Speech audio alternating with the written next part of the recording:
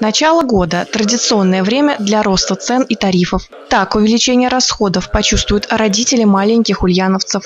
Плата за детский сад в Ульяновске составит 120 рублей в день. В городском управлении администрации объясняют, увеличение размера оплаты связано с повышением цен на продукты питания. Накормить детей разнообразной и полезной едой на 111 рублей в день становится все труднее. Поэтому и стоимость одного дня пребывания в детском саду увеличили до 120 рублей. 115 рублей пойдут на организацию питания, а оставшиеся 5 – на приобретение средств гигиены. При этом денежные средства, заложенные в городской бюджет на питание социальных категорий граждан в детских садах и школах, также увеличилось. Достаточно серьезно отрабатывали все вопросы, связанные с организацией социального питания как в детских садах, так и в школах, поэтому мы рассмотрели все варианты цикличного меню, э, посмотрели цены на продукты питания, поэтому определили цены, которые действительно позволяют обеспечить качественное питание для детей. Это 72 рубля по э, школам и 138 рублей по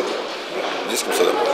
Что не скажешь про Димитровград, где местные чиновники решили сэкономить на школьниках и сократили расходы на еду до 68 рублей в день.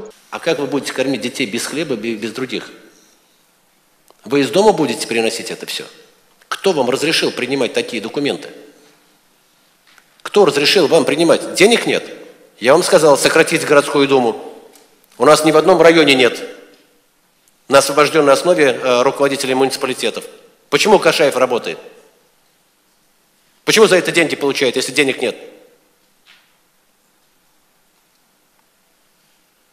Что это вообще такое за отношения? Глава региона поручил незамедлительно разобраться в сложившейся ситуации. Дарья Сутрева, Юрий Конихин, Новости Ульяновской правды.